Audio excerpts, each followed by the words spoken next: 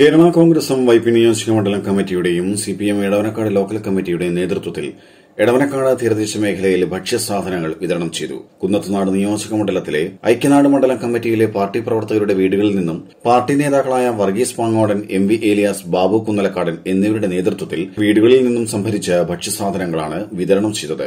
ശ്രീ വർഗീസ് പാങ്കോടനും അതുപോലെ തന്നെ അവിടെയുള്ള മണ്ഡലം പ്രസിഡന്റുമാരുടെ എല്ലാം വീടുകളിൽ നിന്ന് കളക്ട് ചെയ്ത ഒരു ഇതാണ് ഈ കപ്പയും ചക്കയുമെല്ലാം അപ്പം അത് നേരത്തെ തന്നെ നമ്മൾ കഴിഞ്ഞ ദിവസം C P I local committee പുതുവയ്പ്പുമായി ബന്ധപ്പെട്ട് ഞങ്ങൾ സംയുക്തമായി തന്നെ ഇങ്ങനെ ഒരു സംരംഭത്തിന് തുടക്കം കുറിച്ചതാണ്. അതറിഞ്ഞ പാടെ തന്നെ പ്രിനിൽ ഞങ്ങളോട് ഇതുപോലെ ഒരു സഹായം ഇടവനക്കാട് മണ്ഡ പഞ്ചാ പഞ്ചായത്തിലേക്ക് ചെയ്യണമെന്ന് പറഞ്ഞപ്പോൾ വളരെ സന്തോഷത്തോടെ തന്നെ ആ ദൗത്യം ഞങ്ങൾ ഏറ്റെടുക്കുകയായിരുന്നു.